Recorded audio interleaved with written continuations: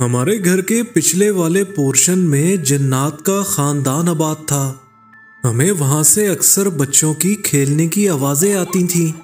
एक दिन मेरी छोटी सी बच्ची जिसने अभी अभी बोलना सीखा था, मुझे नहीं पता चला कि वो कब पीछे खेलने चली गई थी।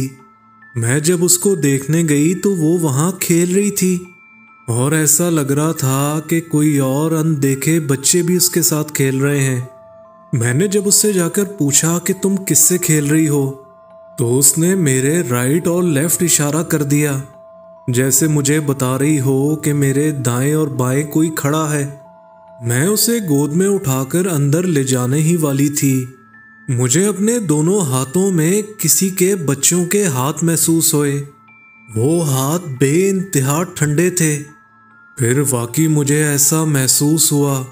कि जैसे मेरे दाएँ और बाएँ बच्चे खड़े हुए हैं।